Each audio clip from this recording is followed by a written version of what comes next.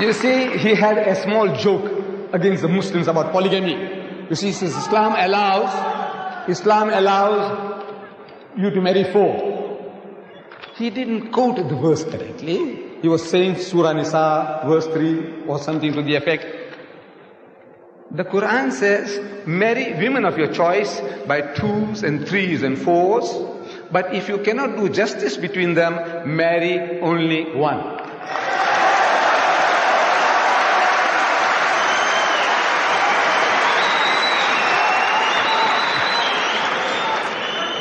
The only religious book, I'm saying the only religious book on the face of the earth, which has this expression, marry only one, is the Quran. There is no other book on earth.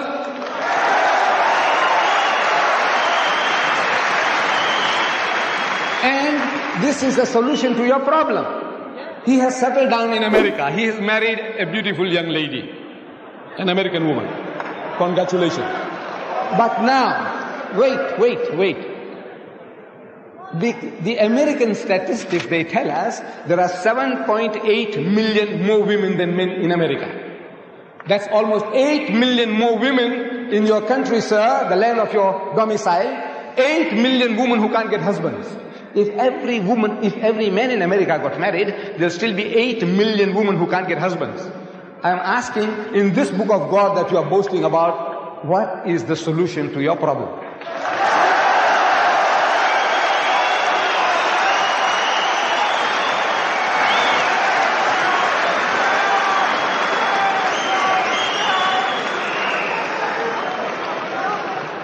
Jimmy Swaggart.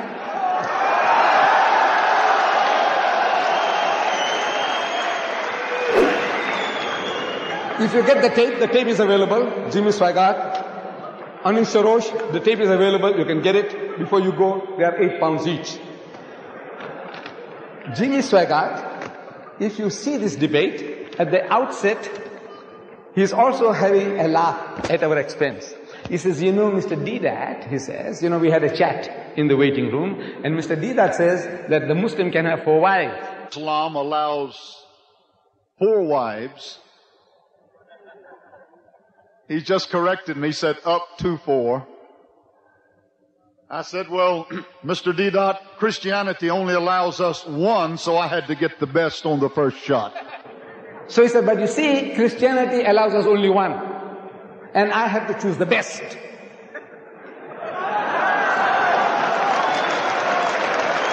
Get the tape. Get the tape. He said, I have to choose the best. And you know, the best was not good enough.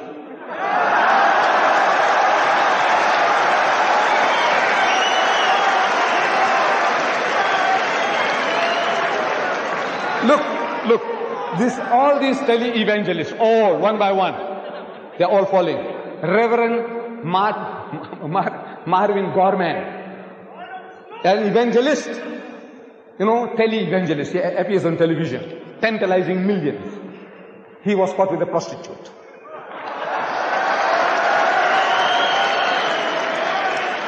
Jim Bakker, Jim Bakker, with Jessica Hahn, another prostitute.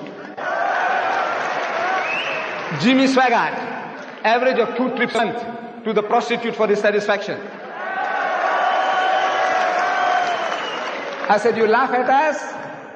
You are a fool. I said, the laugh is on you.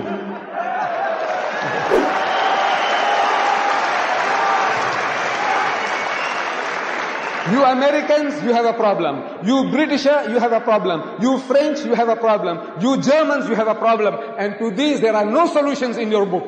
No solution. Islam gives an answer to your problem.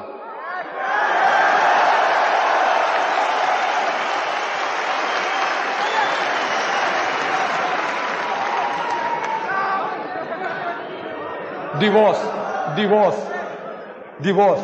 Brother Shorrosh was talking about divorce. You know how the Muslims. Look, when you malpractice, when you do something against your own teaching, you are culpable. No doubt the general Muslim community seems to have got that idea that when you want to divorce your wife, you just have to say talaq, talaq, talaq. But he's supposed to have known the Quran. There is a chapter in the Quran, the whole chapter is called Surah Talaq. meaning chapter divorce. You must have read it. Surah Talaq. Talaq means divorce.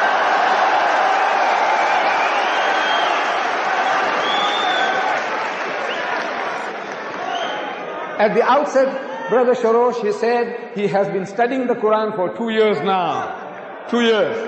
Ah, sure. See what the Quran says, please, brother. And then point a finger at the Quran and say, look, this Quranic teaching is not right, it's not feasible, it's unreasonable. Talk about the Quran. Don't talk about the Muslims. As much as we have bad Muslims, you have bad Christians. You-